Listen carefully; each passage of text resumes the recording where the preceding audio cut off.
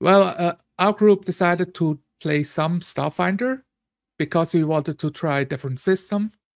I was uh, I was asking to try out Stars Without Number because I wanted to see how the whole faction system, downtime system works in that game.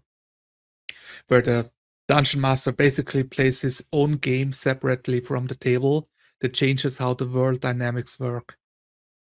Oh, okay. And then, yeah. And then when we actually beat again for the next session of Stars Without Number, it would influence what happened in the world and what the players can do. But uh, that got uh, people didn't have uh, really a lot of interest in that. They wanted to try out Starfinder instead because it's a newer game. Yeah, yeah, yeah. That Stars Without Numbers been out for ten years now or longer. so also, they don't know what it is.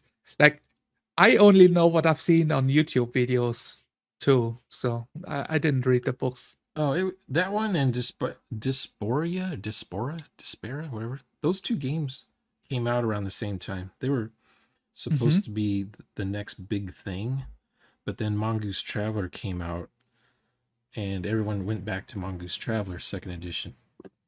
Oh, really? Oh, that's a yeah. competition. Oh, yeah. I see. Yeah. Whichever game is in print recently is the winner. and so Mongoose, what they did was they released an update to second edition. So yeah. instead of doing a third edition, they just went and just did an update. So now they're releasing their games every two years. They're doing updates to their core system books. Like like a new coat of paint or what?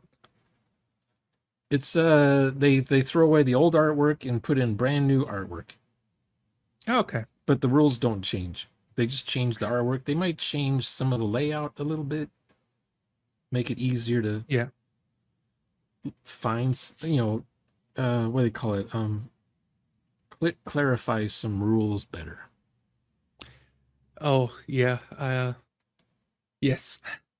but they want they want to keep the art changing so people think, mm-hmm. oh, it's a new book. I'm going to buy the book over again, but it's the same book. I mean, it's, it's good to buy if you haven't if you don't have any editions already, but if you bought it once, you don't need to keep buying it.